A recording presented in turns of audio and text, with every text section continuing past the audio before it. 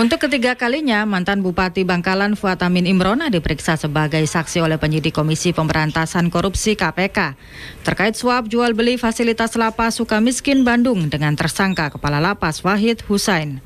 Fuad tiba untuk diperiksa mulai pukul 2 siang. Tidak ada sedikit pun komentar diungkapkan Fuad Amin kepada awak media.